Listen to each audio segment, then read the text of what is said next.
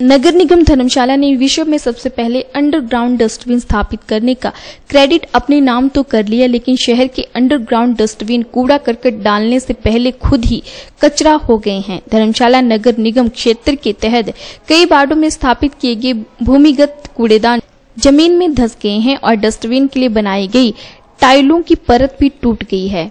इसके चलते नगर निगम धर्मशाला के आम शहरी लोग परेशान हो गए हैं। इतना ही नहीं, आम लोगों ने नगर निगम धर्मशाला की कार्यप्रणाली पर भी सवाल उठाए हैं।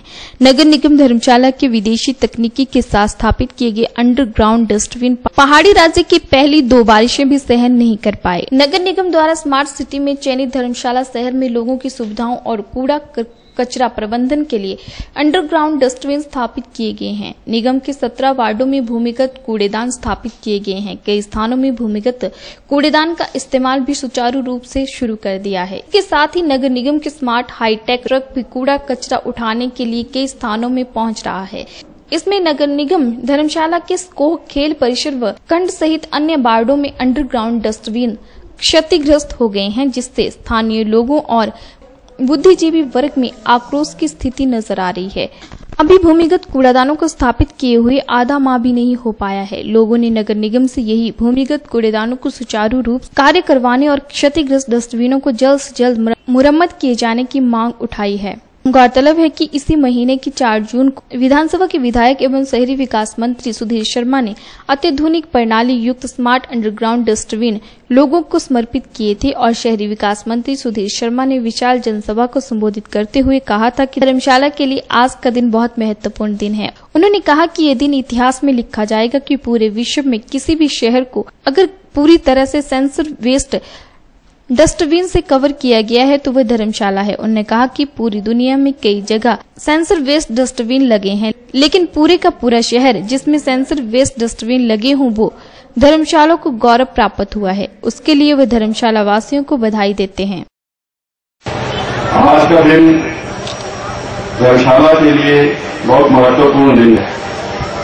इतिहास में लिखा जाएगा कि पूरे विश्व में किसी भी शहर को अगर पूरी तरह सेंसर भी इस डस्टबिन से कवर किया गया तो वो धर्मशाला पूरी दुनिया में कई जगह अंडरग्राउंड डस्टबिन लगे लेकिन पूरे का पूरा शहर सेंसर यूज़ डस्टबिन जिसमें लगे हों वो धर्मशाला को आज गौरव प्राप्त हुआ है। इसके लिए मैं आपको बहुत बहुत बधाई मुबारकबाद देता स्वीपिंग ट्रक्स खरीदेगा जिससे कि हमारी जो बड़ी और छोटी गलियाँ हैं, उसकी सफ़ाई के लिए ट्रक के द्वारा उसके नीचे झाड़ू लगा रहता है। जैसे जैसे सड़क पे चलता है, सारा कूड़ा पीस करके अंदर लेके जाएगा। भाजपा प्रदेश मीडिया से प्रभारी राकेश शर्मा ने शहरी विकास मंत्री सुधीर शर्मा पर कटाक्ष करते हुए कहा कि शहरी विकास मंत्री ने 4 जून को 12 करोड़ रुपए की लागत से बने अंडरग्राउंड डस्टबिन का उद्घाटन किया और अधिकतर डस्टबिन टूट चुके हैं। उन्होंने कहा कि उनको लगता है कि ये बहुत बड़ा घोटाला हो गया है। यहाँ के जो विधायक हैं, धर्मशाला के और मंत्री भी हैं, नगर निकाय के, उन्होंने उसका उद्घाटन किया। और, थोड़े दिन के बाद ये एक बारिश हुई और ये पूरे डस्टबिन जो भी लगे थे धर्मशाला में, ये मैक्सिमम जो है, वो टूट चुके। अभी तक लोगों ने कूड़ा डाला भी नहीं, उन्होंने अपना शौक भी पूरा नहीं किया। ये लगभग बारह बारह करोड़ रुपए का कम से कम ये टेंडर आवेदित था। और मुझे तो लगता है ये बहुत बड़ा एक घोटाला हो गया है इस म्यूनसिपल कारपोरेशन में। पहले नगर निगम की सफ़ाई का घोटाला, अब ये दूसरा घोटाला निकल के सामने आ रहा है। क्योंकि ये जो है बिल्कुल ही उन्होंने खड्डा किया है, उसके ऊपर ना कंक्रीट डाली है, सीधे ही इसमें ईटे रख के और ये डस्टबिन रख दिए। जबकि मात्र चालीस हज़ार में दूसरा डस्टबिन आता था। ये चार चार लाख के लगभग, और इससे भी ज़्यादा ये डस्टबिन आ रहा है। लोगों की जो कमाई है बिल्कुल ही सत्यानाश कर दी है। उधर जब नगर निगम धर्मशाला की उप महापौर दिवेंद्र जग्गी से बात की गई तो उन्होंने कहा कि ऐसी कोई बात नहीं है थोड़ी सी सिविल वर्क में प्रॉब्लम आई है जिसको जल्द ठीक कर दिया जाएगा। उन्होंने कहा कि उन्होंने अभी तक ठेकेदार की पेमेंट नहीं की है। उन्होंने कहा पाँच वर्ष तक मेंटेनेंस ठेकेदार ही करेगा साथ ही इस मामले को लेकर जाँच की जाएगी। ऊपर आपका क्या कहना है? ऐसा कुछ नहीं है जैसे जो सिविल वर्क है उसमें थोड़ी सी प्रॉब्लम आई है।